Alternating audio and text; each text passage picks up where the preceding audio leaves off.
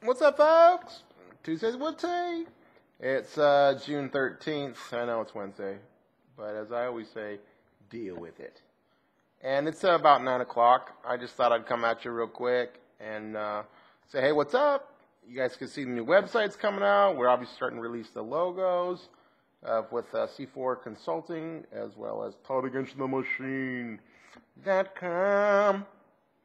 I feel like a singing Todd tonight and I don't know if I'm going to do it or not. Probably won't.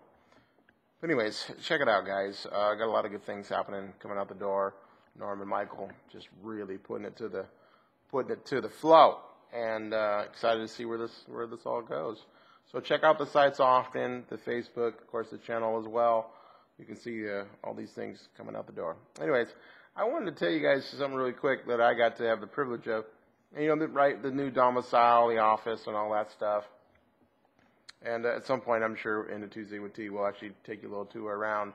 But at the moment, um, you're just seeing with me and a bunch of counter behind us. Well, outside that way, okay, is uh, doors and windows. And as I mentioned in my Facebook post, there's a lot of animals that just chill out here. And there's a deer with the little babies, and the baby's got little spots on them. And pretty cool. Another deer looks like she's crazy pregnant because uh, she rolling deep. I mean, she got to be at least a dose.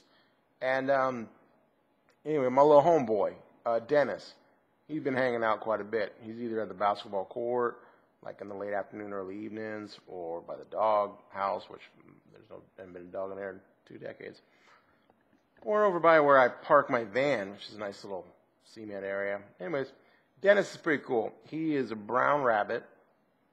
He's a little bit smaller than sort of I think the norm uh, partly because of you know he has a, a disability, and uh, he's male um, because his name's Dennis, and he's got smaller ears, part of his disability. And anyways, the other day it was really cool because he was just chilling out in the driveway, um, just nibbing on these little looked like grass, but they had like little yellow things on them, so obviously not grass. And man, he was going to town. I was about ten feet away from him, and I was just talking to him. I said, "What's up, dude?" And uh, we were back and forth, and uh, he was pretty cool because he was just he'd sit up a little bit, you know, and then he had this crazy little way he'd eat eat the little flowers, and you know, this, mm, this weird little mouth thing he was doing. And I gotta tell you, man, I'm sort of a city dude, right? Look, got the tie and the French cuffs on. Not really ever chilling much in the woods, and honestly, I'm always turning around to look up the driveway because it goes way back in the woods.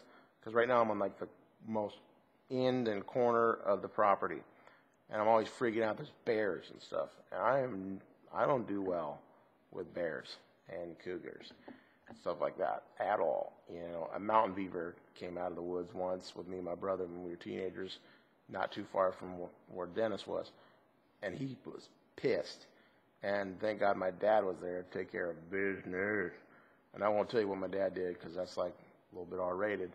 Um, but he took care of it. You know what I'm saying? Navy SEAL stuff.